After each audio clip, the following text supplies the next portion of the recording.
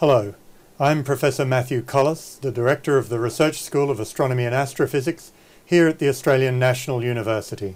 And I'm Patrick McCarthy, the Project Director for the Giant Magellan Telescope. So Pat, we've got a picture of the Giant Magellan Telescope here on the screen behind us. Can you tell us a little bit about it? Sure. The GMT will be the largest astronomical telescope on the Earth. It's 25 meters in diameter and will build up its collecting area by combining seven of the largest mirrors that can be made today. Each of those is 8.5 meters in diameter. And what sort of science are we hoping to do with the GMT? We want to do many things, but in particular we want to explore planets around nearby stars and ask, could they actually sustain life? Do they have conditions in their atmospheres that are conducive to the formation of life? Then we want to use the telescope to look further afield, to measure the masses of black holes, and perhaps to look all the way back almost to the Big Bang to see the first stars and galaxies.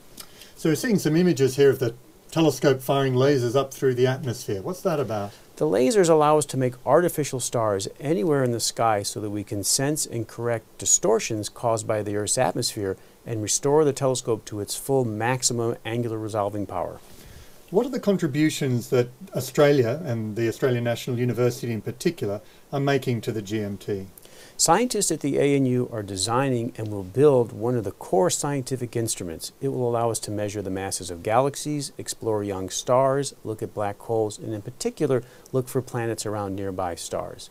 In addition, Australia is producing the laser system and the control system that will allow us to do this adaptive optics anywhere in the sky and make images that are 10 times sharper those, than those of the Hubble Space Telescope. And where is the GMT going to be located and when do we hope to have first light with the telescope? Well, if you're going to build the world's best telescope, you should put it at the best place on the planet to do astronomy, and that's in the Chilean Andes at the bottom of the Great Atacama Desert. It's a place where the skies are dark, the weather is dry, and the images are incredibly sharp. And around 2020, we'll start to put the telescope together. We'll put it in its 12 stories tall enclosure, and at night we'll open the dome and look out to the heavens, and perhaps all the way back to the earliest days of the universe. The ANU is incredibly excited to be involved in this enormous project, and we look forward very much to using this telescope in future.